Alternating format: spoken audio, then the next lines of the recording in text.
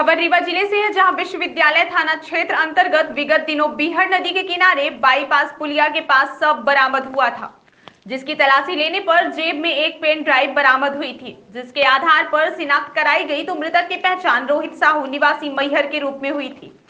Mobile number के आधार पर परिजनों से संपर्क कर बयान दर्ज किए गए तो बयान के दौरान जानकारी हुई कि मोहनलाल की पत्नी गीता साहू अपने पति एवं दो बच्चे, शिवम साहू और शिवांगी साहू को छोड़कर अपने प्रेमी मृतक रोहित साहू के साथ अमरपाटन में किराए से घर लेकर रह रही थी। मृतक रोहित साहू की दोस्ती विष्णु साहू उर्फ़ अमित साहू निवासी मैहर से थी। इसी जानकारी पर मृतक रोहित की प्रेमिका गीता साहू व मृतक के दोस्त विष्णु साहू उर्फ़ अमित साहू निवासी मैहर से भी पूछताछ की गई। तो दोनों के बयानों में भिन्नता मिली। पुलिस ने कड़ाई से पूछताछ की तो विष्णु साहू, अमित साहू ने बताया कि गीता साहू को वह पसंद करता था और उससे बात करता था, जो रोहित साहू को नागवार गुजर रही थी। प्रेम प्रसंग में बाधा बनने के चलते ही तीनों ने मिलकर रोहित साहू को जान से मारने की योजना बनाई थी, जिसके लिए अमित साहू ने अपने साथ काम करने वाले हीरा लाल बर्मन निवासी मैहर को रुपए का लालच देकर अपने साथ रोहित साहू को मोटरसाइकिल में बैठाकर रीवा बिहार नदी अजगरा बाईपास पुल के पास लाया। और झाड़ियों के पीछे ले जाकर हत्या कर सबको छिपा दिया था। अंधी हत्या का खुलासा करते हुए पुलिस अधीक्षक नवनीत भसीन ने जानकारी दी है। आइए आपको सुनाते हैं पुलिस अधीक्षक नवनीत भसीन ने क्या कहा है।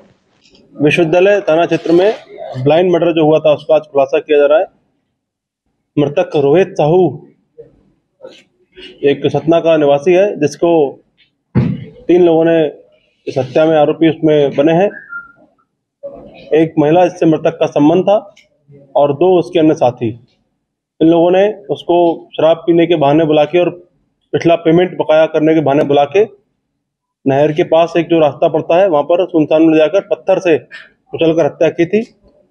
जो मृतक है, उसका भी इस महिला से संबंध था और जो आरोपी है, उसका इस महिला से संपर्क स्थापित हुआ था। इसके चलते इन लोगों में रंजिश होना शुरू हो गई थी।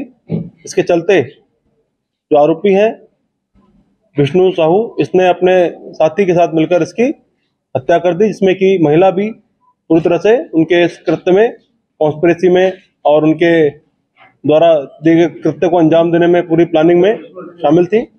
इसलिए तीनों की अरेस्टिंग की गई है।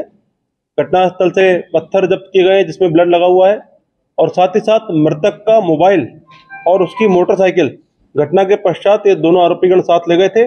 जिसकी जब्ती भी पुलिस ने की है। एफएसएल टीम ने घटनास्थल का विज़िट किया था। उनकी रिपोर्ट भी इसमें इन्वेस्टिगेशन का पार्ट रहेगी और विश्वविद्यालय थाना क्षेत्र की टीम ने और साइबर सेल ने मात्र 48 घंटे में एक ब्लाइंड मर्डर को ट्रेस किया है।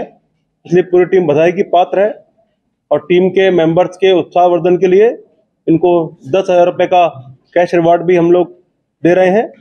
अभी विवेचना प्रारंभ हुई है।